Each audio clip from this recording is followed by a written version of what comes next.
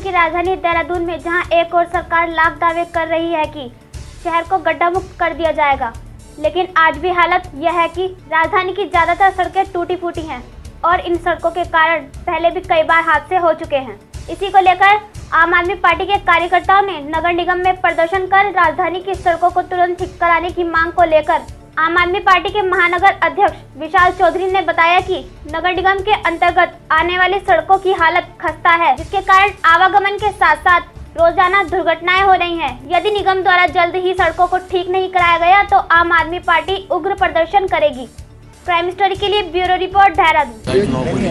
उसी दृष्टिकोण से जब हम लोग वार्ड नंबर सैंतीस में पहुँचे तो स्थानीय जनताओं से के साथ हमारा मुलाकात हुई। वहाँ के लोगों ने बताया कि पिछले सात वर्षों से एक गली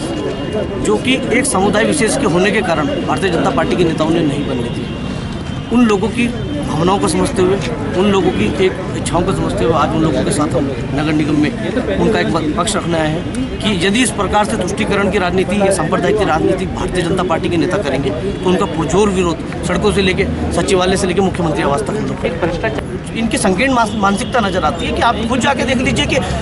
श्रम विभाग के कार्यालय के सामने, जहाँ यहाँ लेबर कमिश्नर जहाँ बैठते हैं, सामने बिल्कुल ही स्थानीय निवासी जहाँ लोग ये रह रहे हैं उसके सामने इस प्रकार का अगर किन्हीं लोगों को जानकर नज़रअंदाज किया जा सकता है तो आप खुद समझ सकते हैं कि देहरादून के अंदर वहाँ जाकर हमें ऐसा आभास होता है कि हम छुटमलपुर में आ गए। और हम पुनः इसको देहरादून बनाना चाहते हैं और आगामी चुनाव में भी हमारा उद्देश्य है कि हम छुटमलपुर में नहीं रहना चाहते, हम देहरादून जाते हैं और देहरादून बनाकर रहेंगे।